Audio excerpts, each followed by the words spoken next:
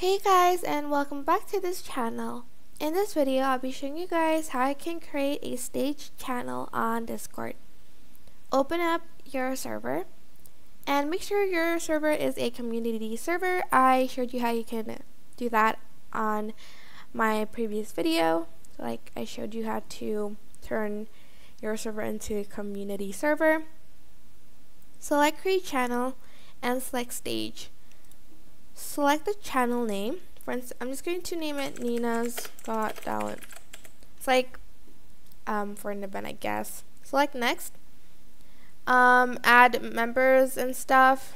Um, but I like add moderators. I don't have anyone else, so I'm just going to select skip. And now as you can see, I already have this channel. You can edit the permissions here. Um, and there's also these invites here.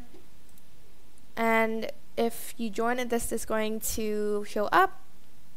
Your mic will be muted unless you're invited to speak. You can leave and rejoin anytime without making noise. Request to speak and join, like to join the conversation. Select got it.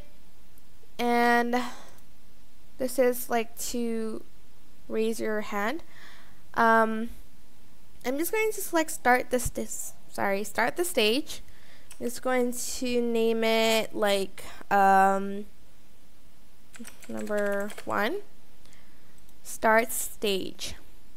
As you can see, I can talk because I do have the permission to talk. Like I'm the server owner, but people will need to like raise their hand up and stuff if they want to like speak.